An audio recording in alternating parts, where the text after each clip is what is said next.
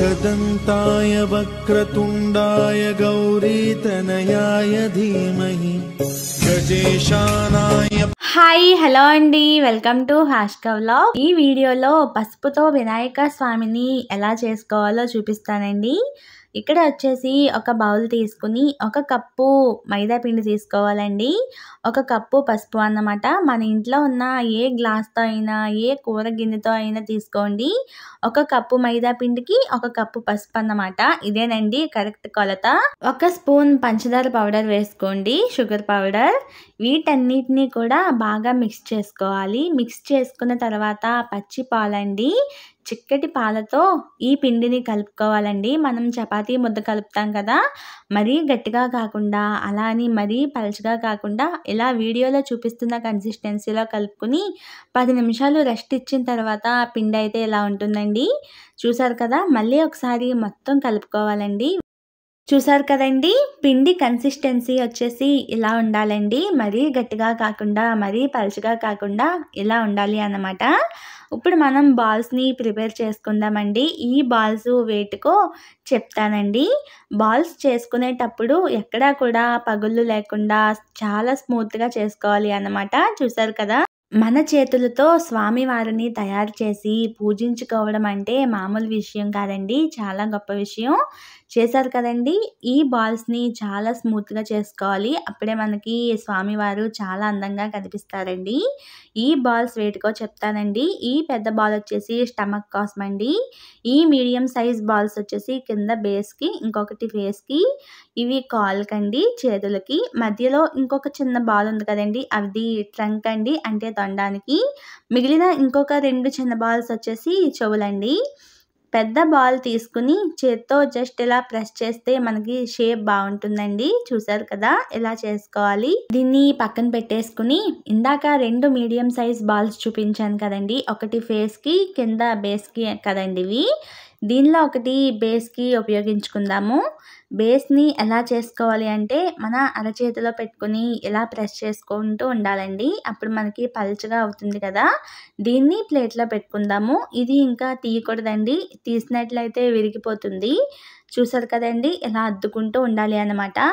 వినాయక చవితి వస్తుంది కదండి. పర్యావరణాన్ని రక్షిద్దామండి. పశు వినాయకుణ్ణి మట్టి వినాయకుణ్ణి చేసుకుని పర్యావరణాన్ని కాపాడదాం. మనం పక్కన పెట్టుకున్న స్టమక్ భాగాన్ని ఇక్కడ బేస్కి ఇలా అంటించేసుకోవాలండి. చేతిని వాటర్లో తడి చేసుకుంటూ ఇలా రెండు అంటించేసినట్లయితే కదలదు అన్నమాట. ఇక్కడ నేను చాలా ఈజీ పద్ధతిలో చెప్తున్నానండి. ఎవరైనా సరే ఇంట్లో ఉన్న వాటితో చాలా ఈజీగా స్వామివారిని ఇంట్లోనే తయారు చేసుకోవచ్చండి. ఇలా ప్రెస్ చేసుకుంటూ ఇలా చేసుకోవాలి. చిన్న చిన్న బాల్స్ తయారు చేసుకున్నాం కదండి. వాటిలో రెండు బాల్స్ తీసుకుని చేత్తో స్మూత్గా ఎలా చేసుకోవాలి అన్నమాట. ఇవి స్వామివారి కాళ్ళగా మనం ఉపయోగించుకుంటామండి. చేత్తో ఇలా ప్రెస్ చేసుకుంటే మనకి పాదాలు ఆకారంలో వస్తాయి. చూసారు కదా? ఇలా అన్నమాట. స్వామివారి పాదాలని కూడా స్టమక్కి అంటించేసుకుందామండి. చేత్తో వాటర్ని తడి చేసుకుంటూ అంటించేసుకుందాము. ఇలా అంటించుకుంటే మనకి కదలవండి. చూసారు కదా? ఇలా అన్నమాట. చాలామందికి ఈ డౌట్ కూడా రావచ్చండి. నేను పిండి కలిపేటప్పుడు షుగర్ని వేసాను కదా? అలా షుగర్ కనుక వేసినట్లయితే మనకి విగ్రహం బాగా వస్తుందండి. పగుళ్ళు రాకుండా ఉంటుంది అన్నమాట. అందుకే వేసానండి మిగిలిన రెండు చిన్న బాల్స్ ఉన్నాయి కదండి? అవి స్వామి వారి చేతుల కింద ఉపయోగించుకుందాము.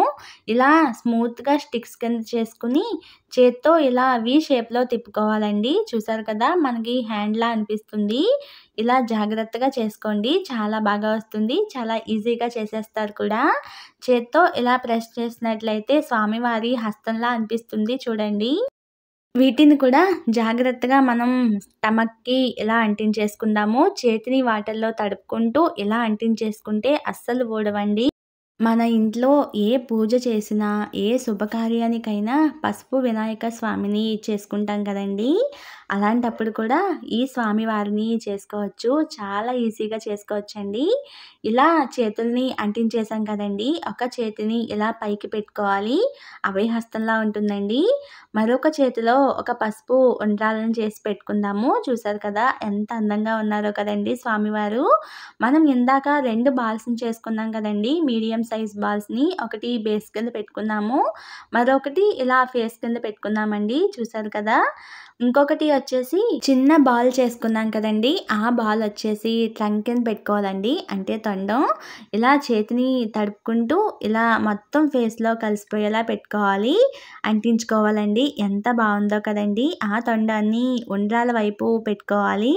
మిగిలిన చిన్న చిన్న బాల్స్ ఉన్నాయి కదండి. అవి రెండు చెవులండి. చేతితో ఇలా ప్రెస్ చేసుకుంటూ చేతిని వాటర్లో తడుపుకుంటూ ఇవి కూడా అంటించేసుకుందాము. మనకి స్వామివారి విగ్రహం అయితే రెడీ అయిపోయిందండి. ఎంత అందంగా ఉన్నారో కదండి. నాకైతే నా చేతులతో చేయడం చాలా సంతోషంగా అనిపించింది. ఇక్కడ నేను కళ్ళకి మిరియాలు వాడుతున్నానండి. ఇక్కడ నేను వీడియోలో ఏ టూల్స్ కానీ వాడలేదు. అందరికీ అందుబాటులో ఉండవు కదా. ఇక్కడ స్వామివారి నామాలు పెట్టడానికి ఒక పేపర్ని ఇలా ఫోల్డ్ చేసుకుని ఇలా పెట్టుకోండి అందంగా ఉంటుంది చూడడానికి. తర్వాత స్వామివారికి దంతాలు కూడా పెట్టుకున్నానండి. ఒకటి చిన్నగాను ఒకటి పెద్దగాను ఉంటుంది కదండి అలా పెట్టుకోండి. మనకి స్వామివారు రెడీ అయిపోయారు కదండి. ఇప్పుడు మూషిక వాహనాన్ని కూడా పెట్టుకోవాలి కదా కాబట్టి ఎలుకను కూడా చేసేసుకుందాము. ఇంకొంచెం పసుపు ముద్దని తీసుకుని ఇలా వీడియోలో చూపిస్తున్నట్లుగా చేసుకోండి. ఇది కూడా చాలా ఈజీగా వచ్చేస్తుంది మనకి. చేత్తో ప్రెస్ చేసుకుంటూ చేస్తే ఇక్కడ కూడా నేను మూషికానికి మిరియాలే వాడానండి కళ్ళకి. మూషికానికి కూడా ఒక ప్లేట్ పెట్టి దాంట్లో ఒక వంటరాలను పెట్టాను. మిగిలిన పసుపు ముద్దతో నేను ఒక ప్లేట్ని పెట్టుకుని దాంట్లో స్వామివారికి వండ్రాలను పెట్టానండి. చూసారు కదా? ఇలా అన్నమాట. చాలా ఈజీ పద్ధతిలో అయితే నేను చూపించాను కదండి. మీరు కూడా తప్పకుండా ట్రై చేసి మీకు ఎలా కుదిరిందో నాకు కింద కామెంట్ చేయండి. ఇక్కడ నేను స్వామివారికి మూడు పోగుల దారాన్ని తీసుకుని జంధ్యాన్ని కూడా కట్టానండి. వెనక్కి ఇలా ముడులు వేయాలండి చూసారు కదా? ఇలా వీడియోలో చూపిస్తున్నట్లుగా చేయండి. చాలా బాగా వస్తుంది. ఇప్పుడు స్వామివారికి కిరీటాన్ని కూడా చేసుకుందామండి. చూసారు కదా? ఇలా వీడియోలో చూపిస్తున్నట్లుగా చేయండి. ఇక్కడ చూసినట్లయితే స్వామివారి దంతాల కోసం నేను టూత్ స్టిక్ని తీసుకున్నానండి. ఒక దంతం వచ్చేసి షార్ప్గా ఒక దంతం వచ్చేసి విరిగినట్టుగా ఉంటుంది కదా అలాగే పెట్టాను చూడండి. స్వామివారి మూషిక వాహనాన్ని చేయడం కూడా చాలా ఈజీ అండి. చూసారు కదా ఎంత అందంగా ఉందో. మనం చేసిన విగ్రహాన్ని చూసినట్లయితే చాలా మంచి అనుభూతి కలుగుతుందండి.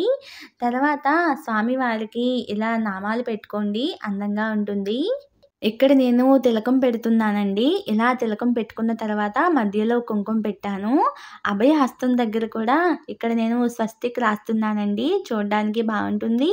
అలాగే స్వస్తిక్ వేయడం కూడా చాలా మంచిదండి. మధ్యలో ఇక్కడ కూడా కుంకుమ పెట్టుకున్నాను.